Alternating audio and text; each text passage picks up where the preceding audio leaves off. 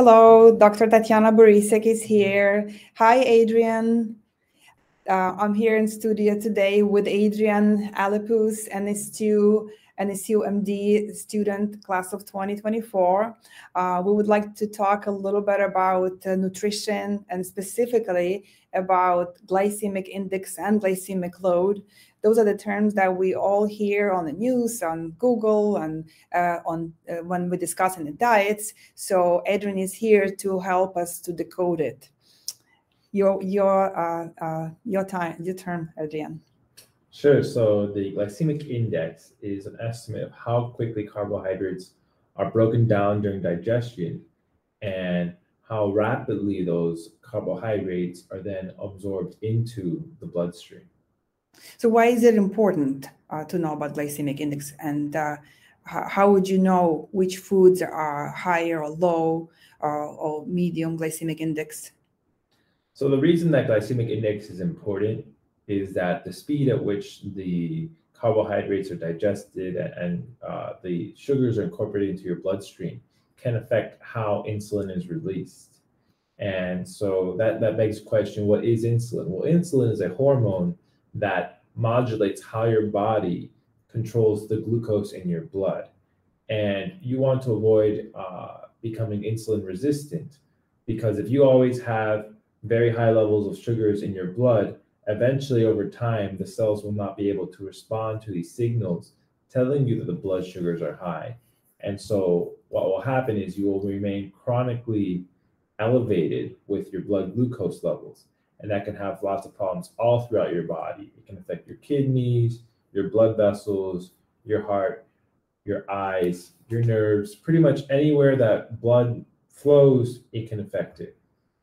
So, what kind of foods uh, do you, uh, would, for example, have high glycemic index? So, foods such as uh, high sugar drinks like sodas, candies, white rice, all these foods that have simple carbohydrates have a very high glycemic index. And which one's the low?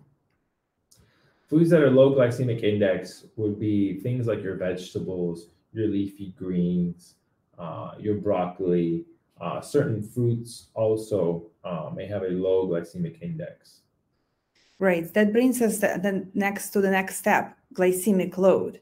So glycemic load is pretty much glycemic index itself, but it takes into account the amount of the certain food that we eat. So, um, so it be, could be calculated as glycemic load. So you take a banana that has certain glycemic index, but then you take two bananas, and glycemic load of one banana versus two bananas would be different, although it's the same product, right? So how say in the same uh, extent you can compare uh, foods like right you have a candy correct that has a high glycemic index, but then you have a small piece of candy which could be could carry the same glycemic load as sweet potato that has uh, lower glycemic index, but then if you eat five pounds of potato, it has the same glycemic load. So that would be a very useful tool to measure amount of food you eat and to simplify the meal, meal planning. Yeah, certainly. So you want to keep glycemic load uh, in mind. It's exactly in that example you gave, um, where you might have a candy that has a high glycemic index, but the total glycemic load may be smaller if the amount of candy you're eating is significantly lower right? So just because a food has a lower glycemic index does not mean that you can necessarily eat as much as you want. Like in your example, if you eat pounds and pounds of sweet potatoes, you're you may be negating many of the nutritional benefits of eating a lower glycemic index food. So where would you find the uh, where would you find the numbers uh, about glycemic index of the foods? I believe the American Diabetes Association on their website has uh, guides for nutrition, and on there they should have um, some information regarding uh, what foods have what glycemic index and where the where they lie on the scale. Certain foods have a medium glycemic index as well, and it's it's absolutely a range. I see. Thank you. Thank you. So, what uh, in in the recommendations, what diet would you recommend, and like give it like overall review of of diet that would be like a, a healthy diet with foods that low glycemic index, or which foods to avoid, let's say. Certainly. So, first of all, the most important aspect to keep in mind with any diet is that is a diet you can maintain.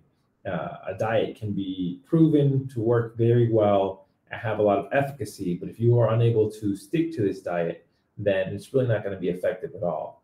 Second of all, uh, I think it's very important to remember that if your goal is weight loss or even weight maintenance, uh, you will want to keep in mind the total amount of calories you're consuming. So for weight loss, you're going to want to be in a net calorie deficit. So you're going to want to keep in mind how many calories you're consuming. And if your goal is to lose weight, you want to consume less calories in a day than you burn. With regards to what foods to avoid, um, you want to try and avoid, avoid certain high glycemic index, high sugar content foods. Um, you want to avoid drinks with a high sugar content, such as sodas, uh, certain sweet teas, um, as well as processed red meats. Those have all been shown to increase one's risk for diabetes and to just be very unhealthy. Oh, thank you very much. So yes, definitely those uh, two indexes uh, can be very, very mm-hmm. helpful to simplify your meal planning.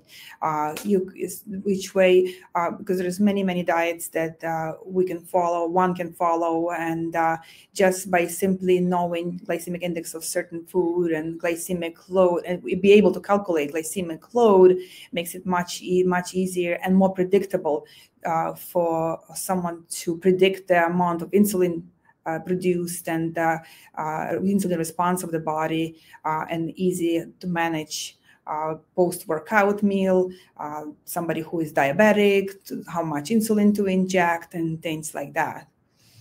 Certainly, and there have been certain diets that have been shown to be more effective at helping one achieve an improved glycemic control. Um, so diets such as the Mediterranean diet uh, have been shown to be highly effective um, and these diet, you know, some of the staples uh, uh, include um, eating a large amount of minimally processed plant-based foods, um, having olive oil as the principal source of fat.